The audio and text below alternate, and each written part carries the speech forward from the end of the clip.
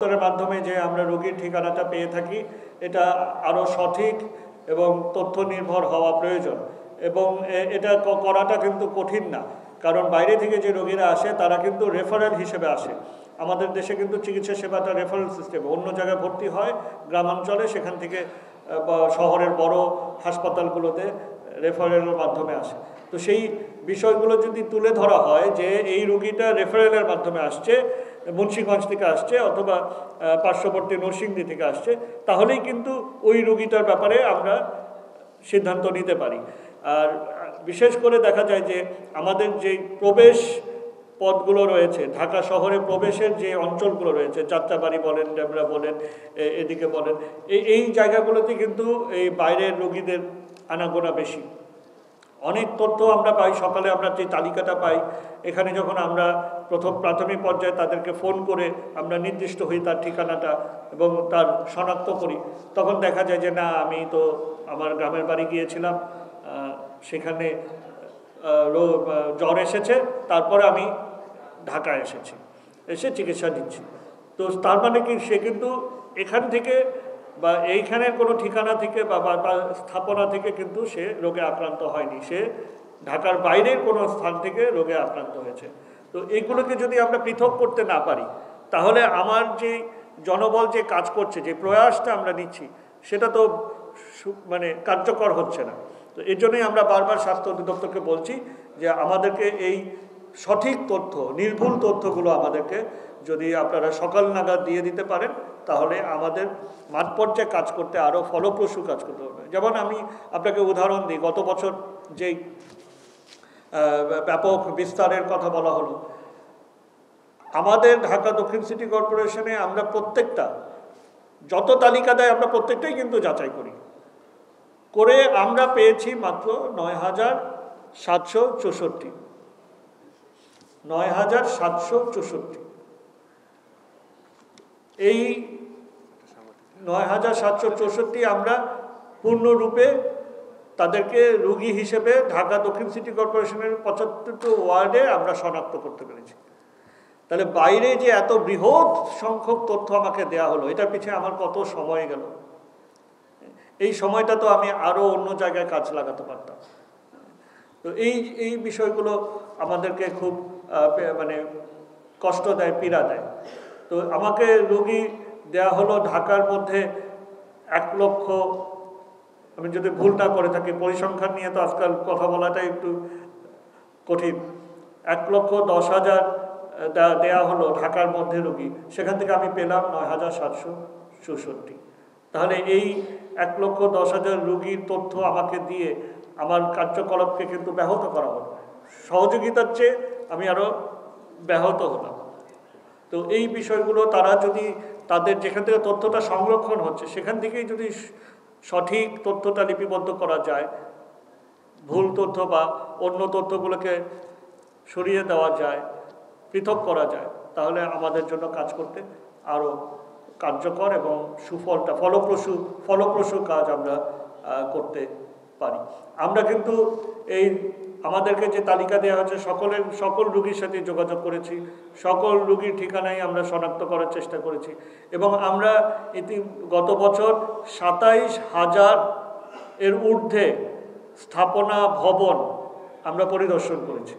আমার এই বিশাল জনবল কাউন্সিলর মহোদয়দের নেতৃত্বে সকাল থেকে রাত পর্যন্ত, সন্ধ্যা পর্যন্ত তারা কিন্তু এই সাতাইশ হাজার স্থাপনায় গিয়েছে।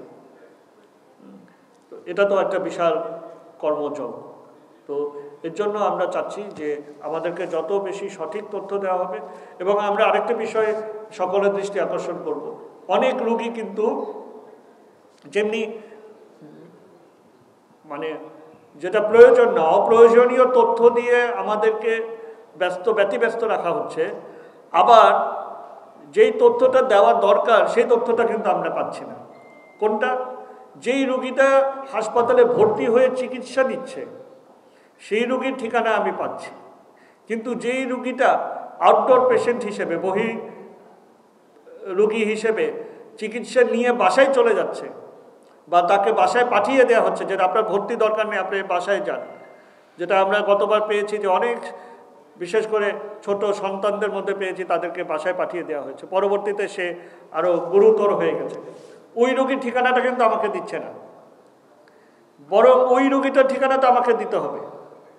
বহির্গমনে যিনি এসে চিকিৎসা নিয়ে বাসায় চলে গেলেন, হাসপাতালে ভর্তি হলেন না, তার সে তো রুগী, তার তো একটা ঠিকানা আছে, সেইটা যদি আমাকে দেওয়া হয়, তাহলে কিন্তু আমি ফলপ্রসূ কার্যকর ব্যবস্থা নিতে পারি। কিন্তু এই তথ্যটা কিন্তু আবার আমাকে দেওয়া হচ্ছে না। তো আমাকে আসল তথ্য প্রকৃত যেটা আমার প্রয়োজন সেটা দিচ্ছে না, আবার অতিরিক্ত যেটা আমার অপ্রয়োজনীয় তথ্য, সেটা দিয়ে আমাকে ব্যতিব্যস্ত রাখা হচ্ছে। তো এই জায়গাটায় সমন্বয় আমার প্রয়োজন এবং সেই জায়গাটায় আমি বারবার বলছি যে আমাকে সঠিক, নির্ভুল তথ্যগুলো দিয়ে আমাদেরকে সহযোগিতা করুন। আমাদের আঞ্চলিক পর্যায়ে আসছে, আমাদের নিয়ন্ত্রণ কক্ষে আসছে, সেগুলো কিন্তু আলাদাভাবে আমরা দেখছি। হ্যাঁ কিন্তু একটি বড় অংশ আমাদের হাসপাতাল থেকে আসে, যেটা কেন্দ্রীয়ভাবে স্বাস্থ্য অধিদপ্তর সংগ্রহ করে এবং সেটা তারপর আমাদেরকে তারা পাঠায়। সেই জায়গাটায় যে ভুল বা অপ্রয়োজনীয় তথ্য আসছে, সেটাকে পৃথক করলে আমাদের জন্য সুবিধা হবে। এছাড়া আমরা সারাদিন যে আমাদের নিয়ন্ত্রণ কক্ষ চলে, সেখানে তথ্য আসে। আমাদের কাউন্সিলর মহোদয়দের মাধ্যমে তথ্য আসে। আমাদের মশক সুপারভাইজারদের মাধ্যমে তথ্য আসে। আমাদের আঞ্চলিক কার্যালয় থেকে তথ্য আসে যে এখানে লার্ভা পাওয়া যাচ্ছে বা এখানে রোগী শনাক্ত হয়েছে সেগুলো হয়। এবং আমরা যে ওই যে একটা একজন রুগী পেলে চারশো গজের মধ্যে যে কাজ করি সেখানেও কিন্তু আমরা গিয়ে পরে রুগী পাই। হ্যাঁ, সেখানেও দেখা যায় পার্শ্ববর্তী বাসায়। কোনো মাদ্রাসায় দেখা যায় যে মাদ্রাসায় রুগী হয়েছে এক নাগারে পঞ্চাশ জন ছাত্রর কিন্তু জ্বর হয়ে গেছে। এগুলো দেখা যায় যে হাসপাতালে সঠিকভাবে কিন্তু লিপিবদ্ধ হয় না। এগুলো আমরা গিয়ে গিয়ে পাই। তো সেগুলো আমরা আমাদের মাধ্যমে আমরা কিন্তু এই লক্ষ্য করলেন আজকেই তো আমাদের প্রস্তুতির একটি বড় অংশ। আজকে আমরা স্বাস্থ্য অধিদপ্তর এবং হাসপাতাল কর্তৃপক্ষ অনেকেই এসেছেন, কিন্তু স্বাস্থ্য অধিদপ্তর থেকে প্রতিনিধি আজকে আসেননি। আমরা কিন্তু চিঠি দিয়ে বারবার তাদেরকে যোগাযোগ করেছি। তো আমরা তো চাচ্ছি, এখন দেখা যায় যে একটু কঠোরভাবে বললে তারা এটা ব্যক্তিগতভাবে নিয়ে নিচ্ছে অনেকে। এটা তো আমরা সবাই তো কাজ করতে চাই। কাজ করার পরিবেশটা সৃষ্টি করতে চায়। এখানে তো ব্যক্তিত্ব মানে ব্যক্তিগত কোনো বিষয় না, যে কেউ এখানে খারাপ মনে করা বা কিছু না। এটা কর্তৃপক্ষ হিসাবে আমাদের করণীয়তা, আমাদের দায়িত্বটা আমরা যাতে করে আরও পরিপূর্ণভাবে পালন করতে পারি, সে, তার জন্যই সকলের সহযোগিতা আহ্বান করা হচ্ছে। তো আপনার আজকে তো খুবই এটা বিষয় হলো যে এত বড় মন্তব্য সভা, তারা জানে প্রত্যেক বছরই আমরা করে থাকি, তাদের এখানে প্রতিনিধি অবশ্যই থাকা প্রয়োজন ছিল।